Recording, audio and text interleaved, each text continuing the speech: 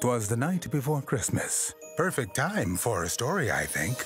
In the near future, it's illegal to take drugs or drink. Except for one night, the binge as it's known, where it's perfectly legal to get drunk, high, or stoned.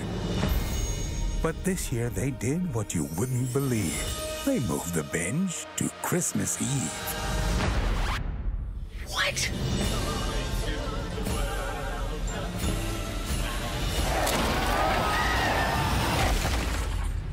Oh, why did they have to put the binge on Christmas?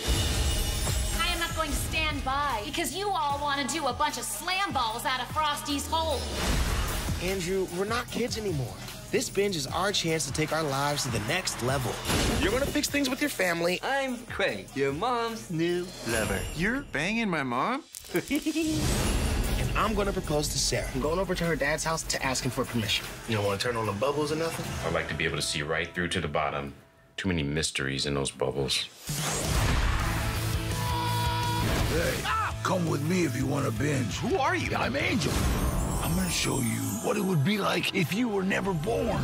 This is terrifying.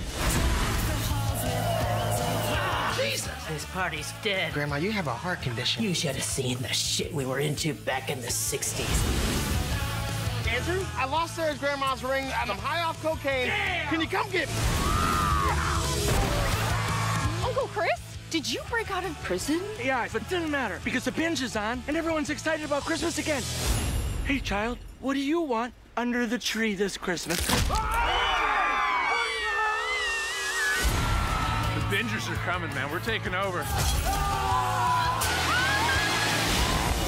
Tonight, all the rules are out the window.